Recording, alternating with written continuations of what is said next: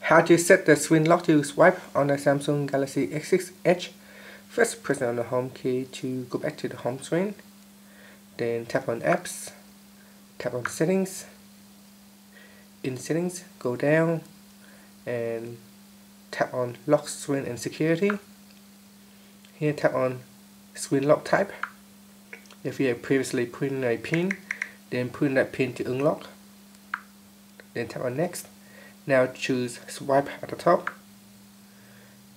And that's it. Press on the home key to finish. So uh, now if I lock the screen, I go back out. All I have to do is just to swipe to unlock the screen. And that's it. Thank you for watching this video.